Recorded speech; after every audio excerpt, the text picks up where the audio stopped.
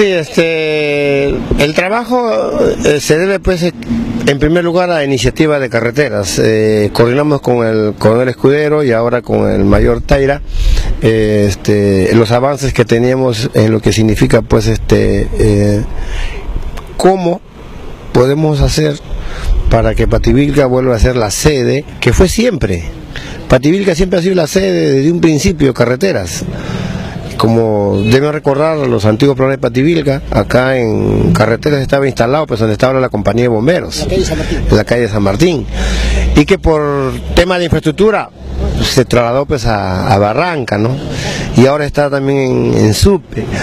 Indudablemente que para nosotros es, un motivo de alegría y también eh, volver a ver con bastante optimismo eh, la presencia policial que debe de haber en esta zona eh, del norte chico. Y lógicamente que estamos comprometidos para poder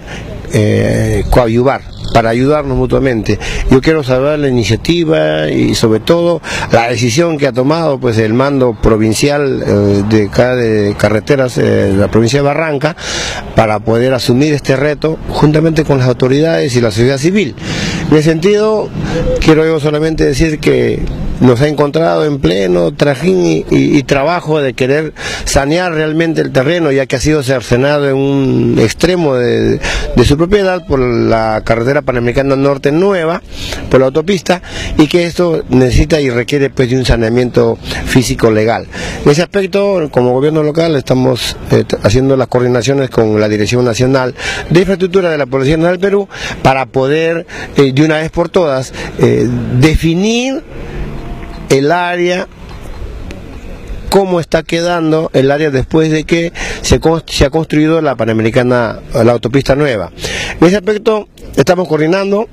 vamos a seguir este, trabajando y yo felicito una vez más la iniciativa y sobre todo el tema de asumir. Eh, no se trata, por si acaso, de la construcción de, infraestructura para este, eh, eh, instalar lo que yo quiero o lo que yo sueño, o lo que sueña todo, todo, todo, vecino, este, hacer un mini complejo o un complejo policial que sería pues lo óptimo, pero un primer paso importante y trascendental es el cerco perimétrico, que es la tarea a la cual estamos abocados y que paulatinamente en la en pleno trabajo de esto se va a tener que ver ya las gestiones para que el gobierno central vea